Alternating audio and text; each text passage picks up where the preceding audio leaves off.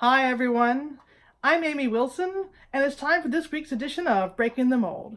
This week, five Italian words or phrases that are commonly mispronounced by musicians. Now, I want to preface this by saying you don't have to be an Italian diction expert.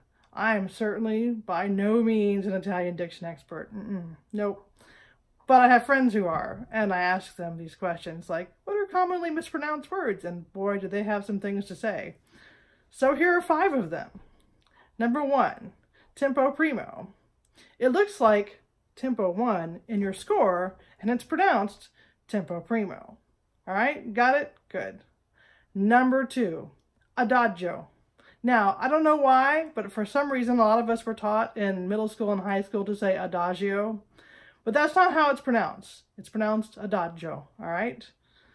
And you just you just want to make it look like you're educated. I'm not saying you have to sound like you're from Italy, just like you like you care. All right.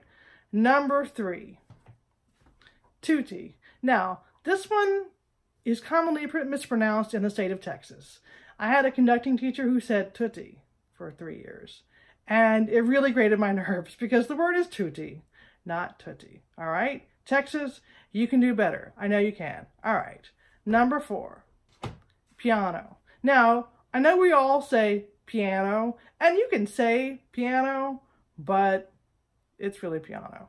right? piano. It has a high ah, piano. That's one of the things that um, my diction people get on me about is that the Italian ah is really high, and we as Americans we want to say piano like really low, but it's really it's high. It's ah. So, and I struggle with that one, and I'm sure that's not perfect either, but whatever. All right, number five, and my absolute favorite, subito. All right, I don't know why, but I had a band director somewhere that said subito, and that is just not how it's pronounced. No, no, no. It's subito. And if you have a hard time remembering it, it rhymes with stupido. All right, subito. That's the word. All right. Well, I'm off to break the mold again. See y'all next week. Bye, girl. Bye.